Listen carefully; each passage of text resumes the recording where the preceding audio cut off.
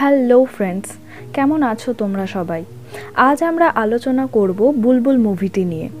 এই মুভিটি নেটফ্লিক্সে রিলিজ হয় দু সালে আর এর IMDb rating six point five out of ten মুভির শুরু হয় আঠারোশো একাশি সালে একটি বাঙালি বিয়েবাড়িতে। একটি পাঁচ বছরের বাচ্চা মেয়ে বুলবুল, তার বিয়ে হচ্ছে ঠাকুর পরিবারের বড় ছেলে ইন্দ্রনীল ঠাকুরের সাথে। তারা তিন ভাই ছিল। মেজ ছেলে মহেন্দ্র ঠাকুর, যে মানসিক ভারসাম্যহীন ছিল, আর ছোট ছেলে সত্য ঠাকুর। সত্য ছিল বুলবুলের সমবয়সী। বিয়ের শেষে ওরা যখন পালকিতে করে যাচ্ছিল, তখন মাঝ রাস্তায় বুলবুলের ঘুম ভেঙে যায়, আর সে তার পিসিমণিকে খুঁজতে থাকে। তখন সত্যের বৌদি বিনোদিনী বুলবুলকে বকা দেয়। আর সত্য তারপর বুলবুলকে একটা রাক্ষসীর গল্প শোনায়। তারা সারা রাস্তা গল্প করতে থাকে। বাড়িতে ফেরার পর বুলবুল সত্যের জন্য অপেক্ষা করছিল, কারণ ছোট্ট বুলবুল ভাবছিল তার সত্যের সাথেই বিয়ে হয়েছে। কিন্তু তখন ইন্দ্রনীল ঠাকুর আসেন আর তিনি বলেন, সত্য তোমার দেওর। তুমি বড় হয়ে গেলে স্বামী আর দেওরের মধ্যে তফাত বুঝে যাবে। তবে বুলবুলের ছোটবেলা কাটে সত্যের সাথেই। তারা সবসময় একসাথে থাকতো, খেলা করতো, গল্প শুনতো। এরপর কুড়ি বছর কেটে যায়। সত্য এখন বড় হয়ে গিয়েছে। সে বিদেশ থেকে তার গ্রামে ফিরছিল একটা ঘন জঙ্গলের মধ্য দিয়ে। সেখানে গাড়ি চালক সত্যকে জানালো, এই জঙ্গলে একটা রাক্ষসী আছে, যার পা দুটো উল্টো, আর সে মানুষদের হত্যা করে। কিন্তু সত্য এসবে বিশ্বাস করে না। কিছুক্ষণ পর সত্য গাড়িতে ঘুমিয়ে যায়, আর গাড়ি চালক গাড়ি থেকে নেমে তার কোনো একটি কাজের জন্য যায়। তখন একটা গাছ থেকে কেউ উল্টে ঝুলে সত্যকে দেখছিল। কিন্তু সত্য চোখ খুলে কিছু দেখতে পায় না। পরের দিন সকালে সত্য তার বৌদি বুলবুলের সাথে দেখা করতে যায়। বুলবুলও তখন বড় হয়ে গিয়েছে। আর ইন্দ্রনীল ঠাকুর তখন বাড়ি ছেড়ে চলে গিয়েছে এবং মহেন্দ্র ঠাকুর তিন বছর আগেই মারা গিয়েছে। বুলবুল সত্যকে জানায় যে, বিনোদিনী দিদি বলে, মহেন্দ্র দাদাকে রাক্ষসী মেরে ফেলেছে। কিন্তু সত্য এসব কথায় বিশ্বাস করে না। এরপর সত্য আর বুলবুল বিনোদিনীর সাথে দেখা করতে যায়। সত্য বিনোদিনীকে বোঝায় যে এটা কোনো জন্তুর কাজ হবে। রাক্ষসী বলে কোনো কিছু নেই। তবুও বিনোদিনীর আশঙ্কা মেটানোর জন্য সত্য ঠিক করে রাতে রাক্ষসী শিকার করতে যাবে। রাতে শিকারে যাওয়ার আগে সত্য বুলবুলের সাথে দেখা করতে আসে। তখন সে দেখে বুলবুলের সাথে একজন লোক বসে আছেন। আর তিনি হলেন ডক্টর সুদীপ। তিনি বুলবুলের পায়ের চিকিৎসা করেন। সত্য বুলবুলকে জানায়, মাস্টার দিনকর তাদের সাথে শিকারে যাবেন। তিনি বড় ভালো মানুষ। কিন্তু বুলবুল বলে, ওনার স্ত্রীর ভাঙা হাড়গুলোকে জিজ্ঞেস করো, উনি কত ভালো মানুষ। এরপর সত্য, মাস্টার দিনকর আর গ্রামের কিছু লোকের সাথে রাক্ষসীর শিকারে বেরোয়। মাস্টার দিনকর একটি আওয়াজ শুনতে শুনতে তার দলের থেকে আলাদা হয়ে যায়, আর তখন রাক্ষসী দিনকরকে মেরে ফেলে। আর দেখানো হয় রাক্ষসীটি উল্টো পায়ে হেঁটে মাস্টার দিনকরকে টেনে নিয়ে যায়। দিনকরের আওয়াজে ডক্টর সুদীপ সেখানে চলে আসে আর দেখতে পায় একজন মহিলা মন্দিরের দিকে যাচ্ছে। সুদীপ মন্দিরে পৌঁছয় কিন্তু কাউকে খুঁজে পায় না আর সত্য ঠাকুরও সেখানে পৌঁছিয়ে ডক্টর সুদীপকে দেখতে পায়। সত্য এবার অনুমান করে ডক্টর সুদীপই এই খুনগুলো করছেন।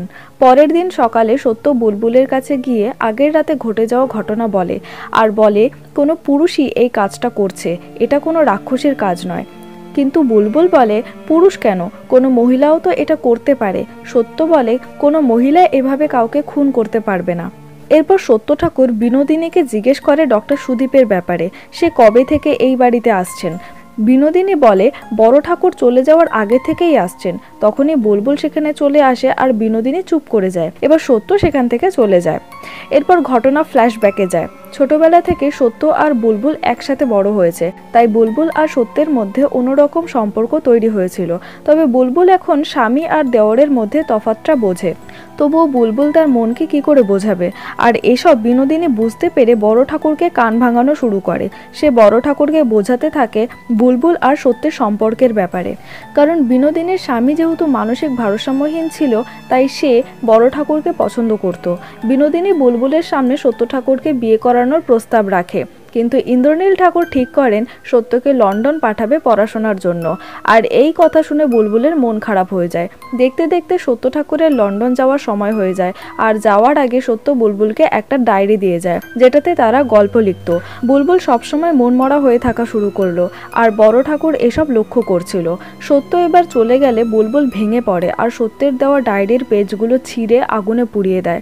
ওদিকে বিনোদিনী বড় ঠাকুরকে উস্কাতে থাকে আর বড় ঠাকুর রেগে গিয়ে বুলবুলের ঘরে যায়। সেখানে বুলবুল ছিল না, কিন্তু ডায়েরির পেজগুলো পুড়তে তিনি দেখে ফেললেন। আর পেজে লেখা ছিল সত্য আর বুলবুলের নাম। এই দেখে বড় ঠাকুর বুলবুলকে অনেক মারধর করেন আর বুলবুলের দুই পা ভেঙে দেন। আর পরের দিন তিনি বাড়ি ছেড়ে চলে গেলেন। ডক্টর সুদীপ তখন বুলবুলের পায়ের চিকিৎসা করেন আর বুলবুলের এই অবস্থার ফায়দা তুলে মহেন্দ্র ঠাকুর বুলবুলকে রেপ করে। এত যন্ত্রণা সহ্য করতে না পেরে বুলবুল সেখানেই প্রাণ হারায়। কিন্তু তখনই আমরা দেখি দেবীর কৃপায় বুলবুল আবার জীবিত হয়ে ওঠে। বিনোদিনী মহেন্দ্রকে দেখে বুঝে যায় যে মহেন্দ্রই এই কাজটা করেছে। সে বুলবুলকে বলে, কাউকে এসব না জানাতে। এসব না জানালে অনেক জামা কাপড় অনেক গয়না পাবেও এবার মুভি আবার প্রেজেন্টে আসে। গ্রামে আরও একটি খুন হয়েছে। আর একটি বাচ্চা মেয়ে সেটির সাক্ষী। সত্য ঠাকুর ঘটনাস্থলে পৌঁছয়। মেয়েটি তাদের বলে, কালিমা এই খুনটা করেছে। সবকিছু শোনার পর সত্য বুলবুলের কাছে যেতে গিয়ে দেখল, ডক্টর সুদীপ সেখানে রয়েছে। আর সত্য দূর থেকে তাদের একসাথে দেখেই সেখান থেকে চলে যায়। সত্য এবার গ্রামের সেবকের কাছে সমস্ত খুনের রিপোর্ট দেখতে চায়। রিপোর্টে সে দেখল, ডক্টর সুদীপের সই করা। কারণ তিনি সমস্ত খুনের তদন্ত করেন। সত্যের ডক্টর সুদীপের প্রতি সন্দেহ আরও বেড়ে যায়। এরপর সত্য বুলবুলকে বোঝাতে লাগল, বড় ঠাকুর হয়তো বুলবুলের কোনো ভুলের জন্যই বাড়ি ছেড়ে চলে গিয়েছে, কারণ বুলবুল ডক্টর সুদীপের সাথে মেলামেশা করত। আর বলে, সে বড় ঠাকুরকে চিঠি লিখে বুলবুলের ব্যাপারে সব কথা জানিয়েছে। বুলবুল এবার বলে, তোমরা সবাই একই রকম। এবার সিন চেঞ্জ হয়। বিনোদিনী আর বুলবুল মন্দিরের পুজোতে যায়। সেখানে একটি ছেলে বুলবুলকে বলে, তার বাবার জন্য তার মা মারা গিয়েছে। অপরদিকে সত্য, ডক্টর সুদীপকে নিয়ে গাড়িতে করে জঙ্গলে যায় রাক্ষসীকে ধরার জন্য। সত্য ভাবছিল, সুদীপই খুনগুলো করছে, তাই সুদীপকে বলে তার নজরে থাকতে। মাঝ রাস্তায় হঠাৎ গাড়ি দাঁড়িয়ে গেল। সত্য গাড়ি থেকে নেমে দেখল, গাড়ি চালককে কেউ খুন করেছে। মন্দিরে যেই ছেলেটি বুলবুলের সাথে দেখা করেছিল, এটা তারই বাবা। সত্য এবার তার সামনে সেই রাক্ষসীটাকে দেখতে পেল আর তার ওপর গুলি চালায়। এবার ডক্টর সুদীপ দেখতে পেল রাক্ষসীটা আর কেউ নয়, বুলবুল নিজেই। আর বুলবুলের পা উল্টো। বড় ঠাকুর বুলবুলের পা ভেঙে দেবার পর বুলবুলের পা দুটি উল্টে যায়। বুলবুল এবার যেসব মহিলাদের ওপর তাদের স্বামীরা অত্যাচার করে, সেই সব লোকেদের খুন করে। মহেন্দ্র ঠাকুরকেও বুলবুলি হত্যা করেছিল। এবার সত্য, রাক্ষসীকে খুঁজে না পেয়ে সারা জঙ্গলে আগুন লাগিয়ে দেয়, যাতে ও পুড়ে ছাই হয়ে যায়। ডক্টর সুদীপ সত্যকে বাধা দিলে সত্য সুদীপকে জিজ্ঞেস করে, তুমি ওকে কেন বাঁচাতে চাও? কে হয় ও তোমার? ডক্টর সুদীপ বলে, ও তো আমার শুধু বন্ধু, কিন্তু তোমার তো সব কিছু তোমার বৌদিও সত্য এবার সব বুঝতে পেরে নিজের কাজের জন্য অনেক আফসোস করে। ওদিকে বুলবুল সেই আগুনে জ্বলে যায়। এবার সত্য, বড় ঠাকুরকে একটি চিঠি লেখে যে, আমি এই বাড়ি ছেড়ে চলে যাচ্ছি। এই ভয়ে যে আমিও তোমার মতো হয়ে যাব, আর আমি তোমার মতো হতে চাই না। এক বছর পর বড় ঠাকুর আবার বাড়িতে ফিরে আসেন।